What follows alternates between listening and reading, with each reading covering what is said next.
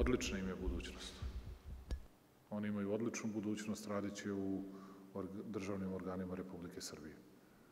Tako da nama ostaje da se dogovorimo i svakako neće imati niža primanja. Naprotiv. Radit će svoj posao za svoju zemlju i za svoj narod.